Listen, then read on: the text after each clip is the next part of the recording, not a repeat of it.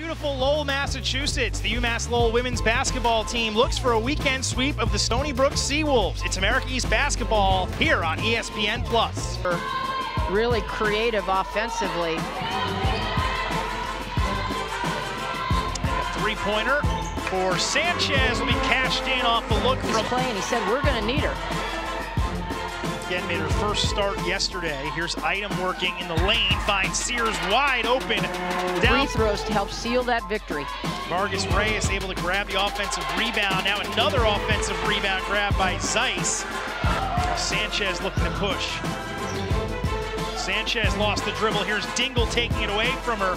It's a good strip, and Dingle able to take it the distance.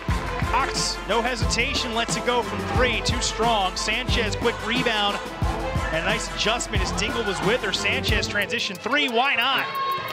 So item to the bench with the two fouls, trying to protect against one of their best scorers. Here's Wool. Three on the wing is good. Vying for the offensive rebound, but it's grabbed by the Seawolves. Dingle right down to Wool on an easy bounce inside. Item tries again behind the back, step back, and it's reined in for Karis Item. Her first They need the junior to get going. item had fallen down away from the ball. When you're trying to crawl back into a basketball game, second chance points are one of the things you have to limit. Item and one. That time able to grab her own rebound. Solis still working, sees Sven open for three. That one is put in. Linda Sven's now. Dingle's able to split the defense. Solis with a rejection.